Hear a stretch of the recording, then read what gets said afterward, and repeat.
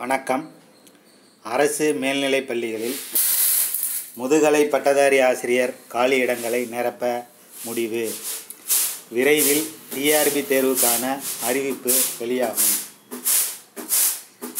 அரசு மேல்நிலைப் பள்ளிகளில் முதுகலை பட்டதாரி ஆசிரியர் பட்டதாரியர் ஆசிரியர் பதவியில் ஏற்படும் காலியிடங்கள் ஐம்பது சதவீதம் பதவி உயர்வு மூலமாகவும் எஞ்சிய ஐம்பது சதவீதம் போட்டித் தேர்வு மூலமாகவும் நிரப்பப்படுகின்றன. அந்த வகையில் கடந்த ரெண்டாயிரத்தி பதினெட்டு பத்தொம்போது கல்வியாண்டுக்கான நேரடி பணி காலியிடங்களுக்கான முதுகலை ஆசிரியர்கள் ஆசிரியர் வாரிய வாரியம் ஆசிரியர் தேர்வு வாரியம் மூலம் அண்மையில் தேர்வு செய்யப்பட்டனர். சே- தேர்வு செய்யப்பட்டு தேர்வு செய்யப்பட்டனர். எனவே